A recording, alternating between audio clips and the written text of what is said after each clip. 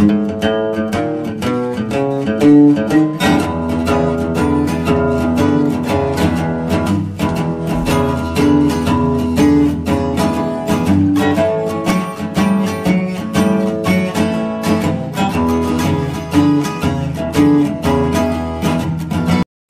Suzy Homesteader of the Rockies, and welcome to the Suzy Homesteader channel.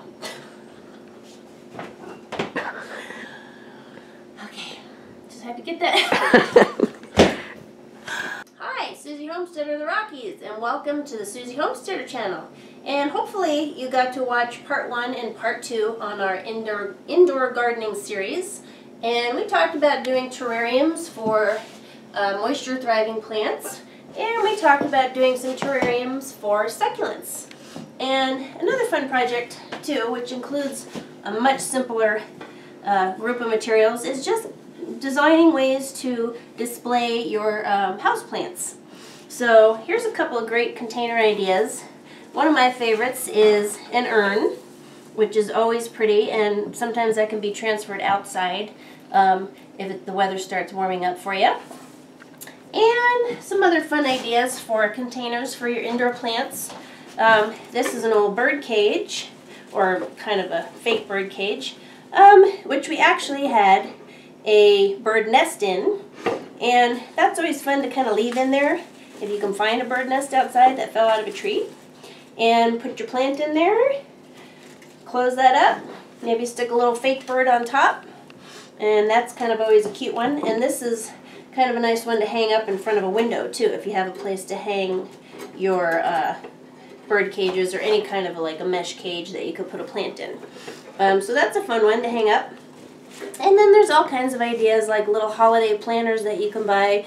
Um, this is a St. Patrick's Day one that um, somebody glued a bunch of moss onto, and I'm pretty sure I bought it that way.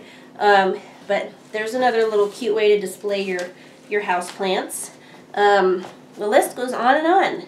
There's wood planters, you know, of any kind that you can put your house plants in.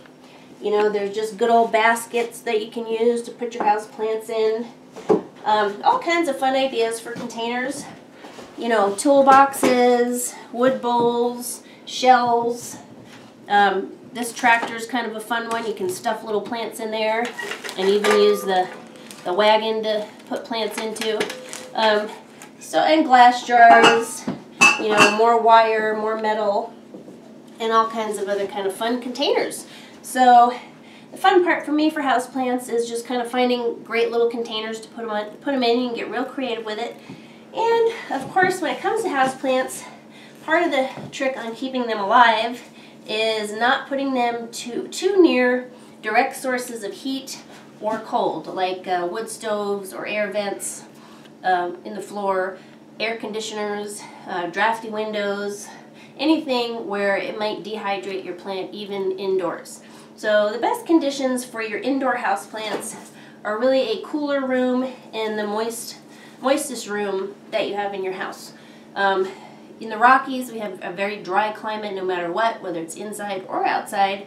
So it is a little bit of a challenge for me to try and keep house plants in my house in particular also because I just don't have enough um, indirect or even direct sunlight inside the house. So houseplants can be a challenge. Um, some people have big green thumbs and lots of success with them. And I hope you do too because I'm not one of them. but the containers that you can put houseplants in can be more fun than trying to keep your houseplants alive. Um, but spray bottles and moisture um, moisture environments are kind of the trick on keeping those going. So good luck with your houseplants. And um, as I said, hopefully you get to see some of our other indoor gardening projects. And uh, look for some of my other ones that I'll be doing, which will include seed sprouting and bulb forcing and regrowing some vegetable uh, scraps from your kitchen and doing wheat, some wheatgrass flats and um, all kinds of fun herbs and edible indoor plants that you can grow all year long. So we will see you on those videos and let me know if you have any questions. We'll see you soon. Bye-bye.